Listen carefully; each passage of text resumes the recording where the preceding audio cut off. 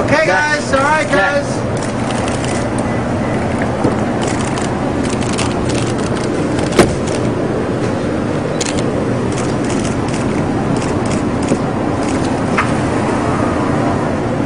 Thanks, Zach.